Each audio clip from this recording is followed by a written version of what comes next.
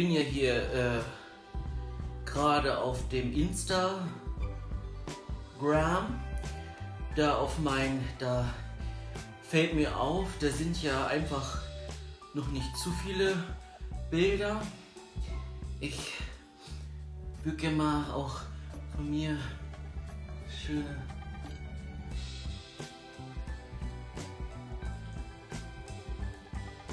noch Bilder.